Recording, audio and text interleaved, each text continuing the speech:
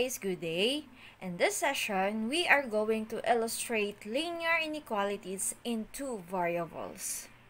Let us define first what is linear inequality in two variables. This is a mathematical statement that uses symbols less than, greater than, less than or equal, or greater than or equal to relate values. It can be written in one of the following forms. We have ax plus by less than c, ax plus by greater than c, ax plus by less than or equal c, ax plus by greater than or equal to c, where a, b, and c are real numbers and a and b are not equal to zeros. So, para din siyang linear equation in two variables, yun nga lang sa linear equation, equal sign ang ginagamit natin. Dito kay linear inequality, from the word itself, inequality, ang ginagamit naman natin ay inequality symbols. So, let us have an example. Here are some examples of linear inequality in two variables. We have here 4x minus y greater than 1, x plus 5y less than or equal to 9, x plus 7y less than 2, 2y greater than x minus 5. As you can see, ang ating mga examples here ay gumamit tayo ng mga greater than, less than, less than or equal, or greater than or equal.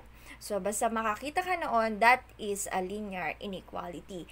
And, since two variables tayo, kailangan lagi ka makakita ng x and then y. Is it clear? Determining if the given point is a solution or not of the given linear inequality. So this one, we are going to check if the given points here is um, a solution or not of these linear inequalities. Just like determining if the given points is a solution or not of linear equation, um, gagawin lang natin, sa substitute lang natin for us to find if is it solution or not. Let us have the first one. We have here the point of 2 and 3. Let us try this if this one is a solution or not of 2x plus 3y is less than 6 by using substitution. Let, us now substitute. So, etong 2 mo, this would be your x, then yung 3, that would be your y. So, we are going to change x into 2 and y into 3. Your points here is 2 and 3. Then, we are going to substitute. So, we are going to use 2x plus 3y is less than 6. Then, change x into 2 and change y into 3. So, 2 times 2 plus 3 times 3 is less than 6. Then, just simplify. 2 times 2, we have here 4, plus 3 times 3, that is 9, then less than 6. Then, just add. 4 plus 9, the answer here is 13. 13 less than 6. Thus, 13 is less than 6. True or false? Alright, so that is false. So, si 13 ay hindi pwedeng maging less than into 6 kasi si 13 ay mas mataas kay 6. Alright? So, this one, 2 and 3 is false. False po yan. So, therefore, it is not a solution. So, si 2 and 3 is not solution. Next tayo. Let us have 1 and 1. Let us try if 1 and 1 is a solution or not. So, we have here 1 and 1. Then, your equation is 2x plus 3y less than 6. Let us substitute. 2, x becomes 1 plus 3 times y becomes 1 less than 6. Then just simplify. 2 times 1, we have 2. Plus 3 times 1, we have 3. Then less than 6. 2 plus 3, the answer is 5, then less than 6. Does 5 less than 6? True or false? Yes, this one is true. So, ito yung tama. Si 5 ay less than 6. Therefore, 1 and 1 is a solution of these linear inequalities. Did you get it? So, that is how you are going to test if the given points is a solution or not of the given linear inequalities. Let us have another example. Example number 2. Y is less than or equal to 6 minus x, then we are going to test the points negative 1 and 4 and 2 and 3 if there are solution or not. Let us have the first one. We have here negative 1 and then 4. Let us test. We have y is less than or equal 6 minus x.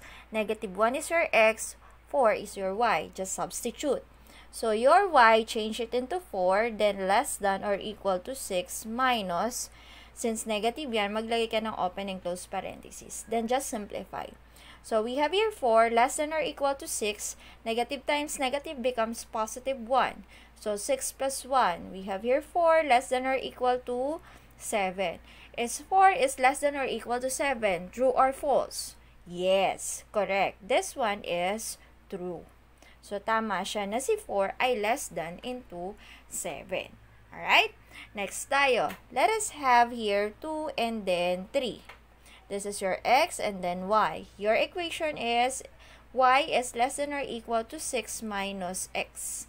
So, just change y into 3, then less than or equal to 6, minus, just change x into 2. Then we have here 3 less than or equal to 6 minus 2. The answer here is 4. Does 3 is less than or equal to 4? Yes, that's true. So this one is true. So therefore, si negative 1, 4, and 2, and 3 are solutions. Ayan. So, ganun lang siya kasimple. You are going to substitute lang, then analyze mo lang dun sa pinaka-final answer mo kung siya ba ay magiging true or false. Is it clear? Let's have another one. Number 3.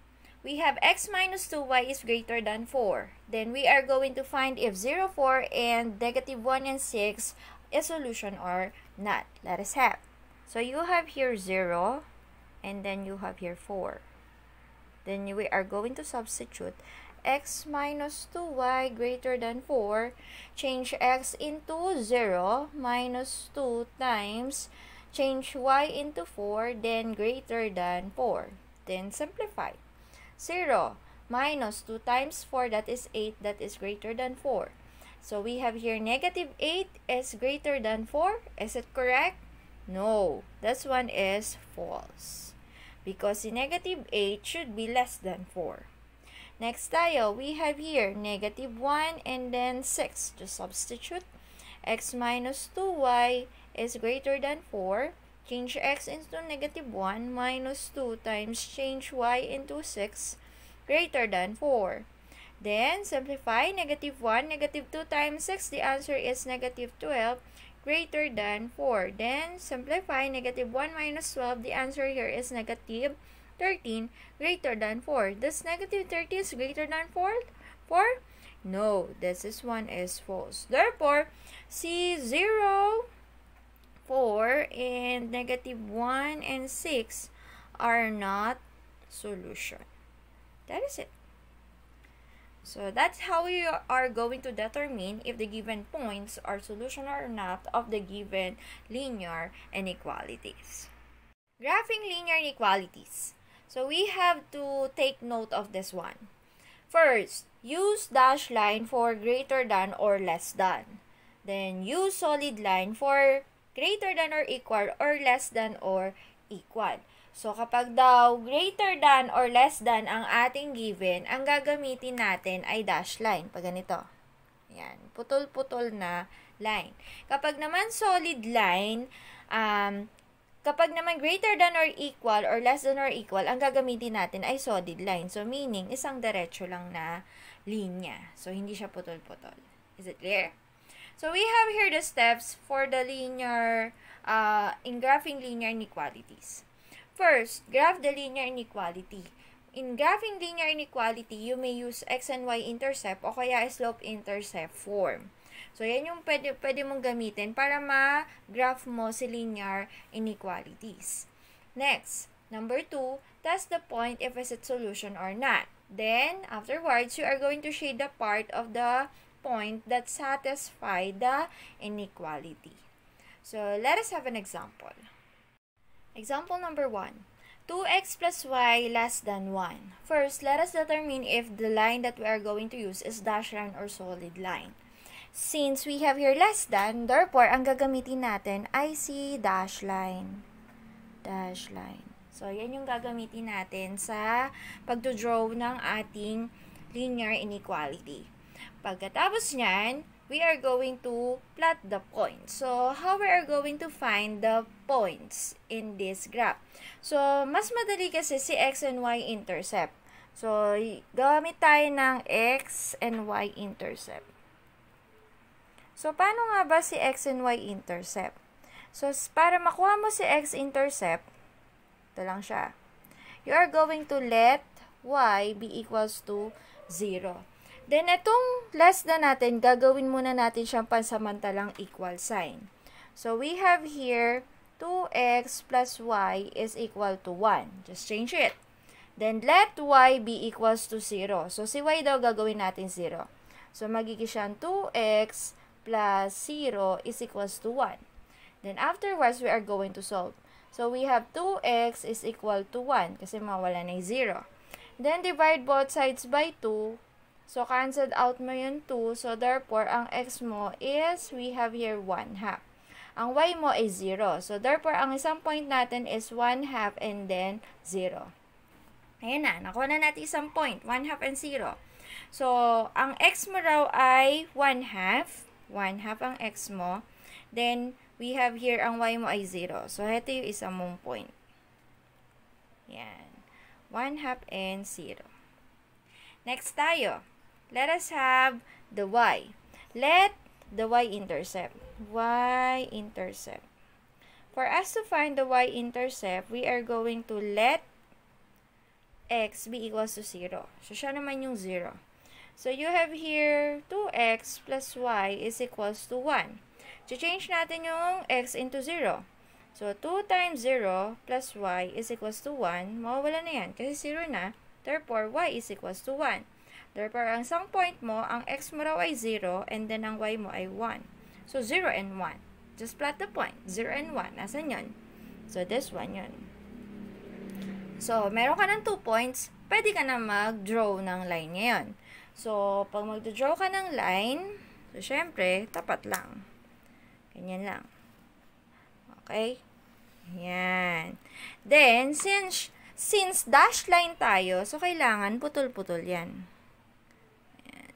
So, putol-putulin natin ang ating line. Kasi, dash line dapat ang ating gagamitin. So, that is now your graph for that linear equation. Afterwards, Itetest natin yung points niya. Magtetest tayo ng points dito sa taas at saka points dito sa baba. So, doon tayo sa pinakamalapit lang. So, since dito sa baba, pinakamalapit at pinakamadali, we have here 0 and 0, the origin. Pwede nating itest yung origin dyan. Kapag yan ay nag-true, therefore, ang kanyang solution ay nandito lang sa baba na yan. Kapag yan ay nag-false, therefore, ang solution yan ay nandito sa taas. Is it clear? So let us have here 0 and 0. Let us try 0 and 0 to test the point. We are going to have 2x plus y is less than 1. Just change it. 2 times 0 plus 0 is less than 1. Ito magiging 0 na lang. 0 is less than 1. Is it true or false? Yes, that is true. Since dito pa lang kay 0, 0 na to ay nag-true to, therefore, ang kanyang solution ay dito. Ayan. So, i-shade mo yung part ng pinaka-solution ng pinaka-graph mo. So, ito yung pinaka-shaded part niya. So, therefore, lahat na nang dito is a solution of um, 2x plus y less than 1. So, lahat ng points na nakapaloob dito sa, sa ating um, um, shaded part, magsasatisfy kay 2x plus y less than 1. Is it clear? So, try natin dito. 1 and 1. Ito. Yung point dito, 1 and 1. Tingnan nga natin kung true or false. So, let us try 1 and 1. Para lang mapakita ko sa inyo na lahat na nandito ay magiging false. So, we have here 2 times 1 plus 1 less than 1. 2 times 1, 2 plus 1 less than 1. 2 plus 1, that is 3. Is 3 is less than 1? Di ba false? So, therefore, lahat na nandito sa taas na yan, magpo-false yan. Is it clear? So, that is the simplest way for you to graph the linear equation. Let us have another one. Number 2. 4x minus 3y is greater than or equal to 12. So, let us determine kung ang gagamitin natin ay dash line or solid line. So, since greater than or equal, therefore, ang gagamitin natin ay si solid line. So, meaning, isang diretso lang na line yung gagamitin natin. First, let us find the x-intercept. X-intercept. Okay, para makita natin isang point. So, let y be equals to 0. So, magiging 0 na raw yung y. So, magiging 4x minus 3 times 0 greater than or equal to 12. Ay, sorry. Change it into equal sign muna pala. Then, we have here 4x minus, ito magiging 0 na, so equal na lang to 12. Then, solve for x. Just divide both sides by 4. By 4, cancelled 4. So, x is equals to 3. So, ang isang point mo raw is 3 and then 0. So, that is the first point, 3 and 0. So, hanapin natin si 3 and 0. 3 ang x mo. 1, 2, 3, then 0 ang y mo. So, this is your point. Is it clear? Next tayo. For y-intercept. Y-intercept. So, we are going to let x be equal to 0. So, your given ulit is 4x minus 3y greater than, ah, sorry, equal na po pala, equal 12. Yan. Gagamit muna tayo ng equal sign pansamantala. Then, change it 0, x into 0. So, mawala na yan pag you change it into 0. So, magkakaroon ka na lang ng 3y is equal to 12. Just divide both sides by negative 3 by negative 3. Cancel out negative 3.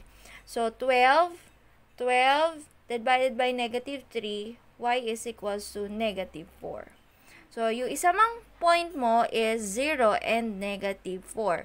So, since negative ang 4 mo, sa baba tayo. So, negative 4 daw. Negative 1, negative 2, negative, negative 4. So, this is your points. Ayan. So, nakakuha na tayo ng dalawang points. Pwede na tayong gumawa ng line.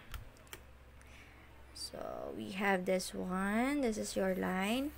So, yan na yung ating line. So, since greater than or equal, solid line. So, hindi na, po, hindi na natin siya puputol-putulin. So, this is now your line. Now, test the point. Test tayo ng isang point. So, saan nyo gusto? So, syempre, dun tayo sa madali. Gawin natin 0 and 0. Dito tayo sa origin kukuha ulit. So, test the point using 0 and 0. So, we have here for x minus 3y greater than or equal to 12. So, since ito magiging 0 na to, 0 minus 0, we have 0 is greater than or equal to 12. Is 0 is greater than to 12? No, false. So, therefore, lahat na nandito ay magiging false na yan. Okay? Since false na yan, therefore, ang solution mo ay ito. Ito na yan. This is now your solution. Lahat na nandito sa right side. Okay? So, ganun lang kasimple. So, kahit mag-test ka pa dyan ng points na nandito sa nakaloob dito, magiging siyang satisfy or solution. Is it clear? So, that is how we're going to graph a linear inequality. So, madali lang siya. Basta alam mo mag-plot ng points, alam mo kumuha ng x and y intercept, okay na. So, kayang-kaya mo na siya. So, that's all for today. So, thank you for watching. Hopefully, may natutunan for this day. So, kung may tanong, chat lang po sa ating comment box. And that's all for today. Thank you. Bye-bye. Thank you.